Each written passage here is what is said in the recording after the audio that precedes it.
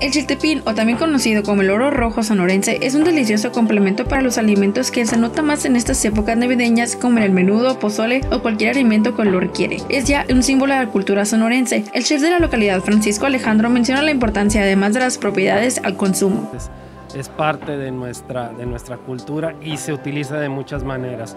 El origen del chiltepín básicamente es completamente silvestre, eso es lo más interesante, aun cuando ya se están haciendo esfuerzos por industrializarlo, eh, sí se ha logrado, pero realmente el chiltepín, el que cuesta, el oro rojo que le llaman, es el que encuentras básicamente en la Sierra de Sonora.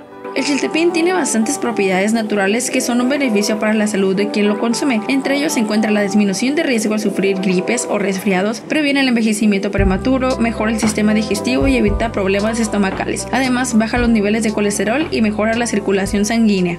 Pues yo creo que es sumamente importante el chiltepín. Creo que nos viene a definir eh, en muchas partes de la República y creo que hasta internacionalmente, porque los, las recetas y los platillos que se acompañan con, con ese, ese pequeño este, chile tan picoso, eh, pues representan realmente lo que somos nosotros acá en Sonora. Somos desierto, somos sierra, somos mar.